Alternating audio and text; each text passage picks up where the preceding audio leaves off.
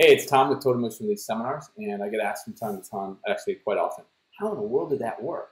How in the world does treating the opposite side or opposite direction or uh, into ease help? How does it work?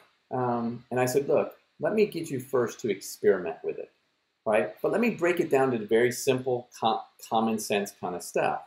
And that is, look, when you go to lift up a arm in abduction, let's just say it doesn't work you may or may not know it, but you're either lengthening tissue or shortening tissue. You're either taking a joint where it is trying to go already, like it likes, it's easy to go in that direction, or you're taking it, trying to put it back anatomically in the position you think it needs to go into. So you're either pushing where it likes to go or pushing back where it doesn't want to go, which may be still anatomical. So if you just think about it, really, you are going into where it wants to or going in where it doesn't want to. So when I pick up into abduction, it doesn't want to go that way. So if I treat that way, just recognize, hey, I'm going in the direction trying to fix what it, in a direction it doesn't want to go or that it's restricted. So I'm going to try to use restriction to fix restriction.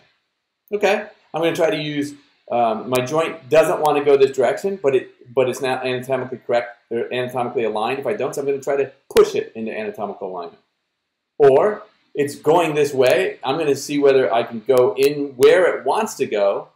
All right, and keep going with it, maybe it does a neurological reset. But what does all that mean? Let's just let's just give you a know-how and test it out for yourselves. So you can't go into abduction. All right, to do your traditional stuff, do two sets of into abduction. Rest for a minute, see whether it gets higher. Then think, okay, this was the tissue that was length, trying to lengthen. How can I shorten this tissue? You can do adduction, two sets of 20. You could do some trunk bends. That's what I recommend. Do two sets of 20 side bends. Or lift up your right leg if it was your right arm, because that'll help shorten this side. Do two sets of 20. After you get done with one of those three exercises of two sets of 20, recheck to see what happens here. All right? And let me know. Okay? And with that, typically 50% of your patients, you're going to be like, wait a second.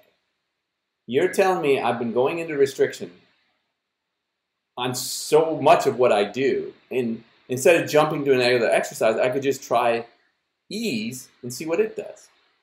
Yes, that's what I'm saying.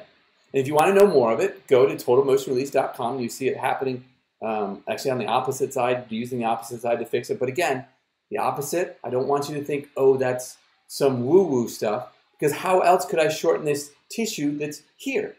I can't go this way. Look, I can pick this up. By lifting this up, it shortens this tissue. Might look like I'm doing the opposite side. I'm exercising the opposite to shorten the injury. Cool? And there's lots of different motions that actually allow for shortening to happen that you're not uh, aware of right now. And so hopefully in the end, you'll go back, go to look at totalmotionrelease.com, see a lot of the videos and say, wow, this is really cool stuff. And you want to take one of our seminars. But until then, experiment away with what I just showed you and let me know how it goes.